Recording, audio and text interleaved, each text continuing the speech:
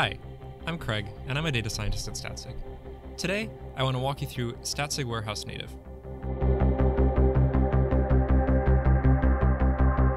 Statsig Warehouse Native is an experimentation platform that runs Statsig's modern stats engine inside of your warehouse. Integration is easy, and you can quickly get started analyzing experiments using your data in your warehouse. You can run experimentation with Statsig's modern SDK, which supports feature flagging, multi-armed experiments, mutual exclusion, and even long-term product holdouts. Rather use your own? That's fine. Uh, you can use any source of assignment data that you already have. Your results will show up here in Pulse. You'll get intuitive confidence intervals, and also easy deep dives into the results of your experimentation. You can easily analyze subpopulations and cohorts with no SQL required, we also track the metric impact of every experiment you run, so you can understand the metric movements in your product, including regressions. Experimentation isn't hard to do, but it's hard to do it right. Statsig offers health checks for things like sample ratio mismatch or users getting assigned to multiple groups as part of its default analysis.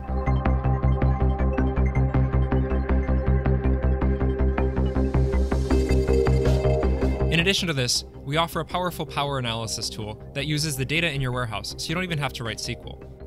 A good experimentation platform is a collaboration between data, product, and engineering. Statsig Warehouse Native is built to make this collaboration smooth. You'll define a SQL-based metric source that gives access to validated datasets inside of your warehouse. This is usually a table, the same kind of tables that you're using for tracking, dashboards, and product analytics today.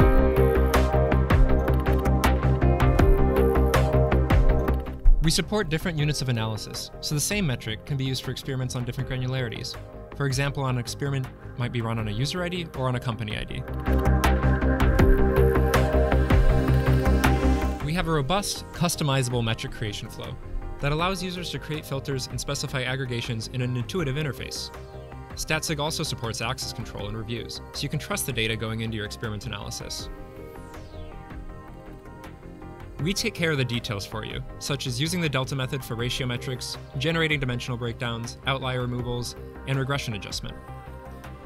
After setting up a metric, you can load some historical data to understand how it's been trending over time, and also understand the data that you'll be putting into your experiments analysis better. Creating an experiment is easy. Pick the metrics that you're evaluating the experiment based on, add guardrails, including the core collection, define a hypothesis, and press start.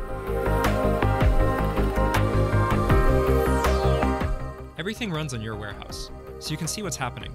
There's no black boxes. Behind the scenes, we're running the same algorithms used by top tech companies in their experimentation platforms. We're excited to offer people the ability to use Statsig inside of their own warehouse. It takes minutes to set up, so give it a shot today.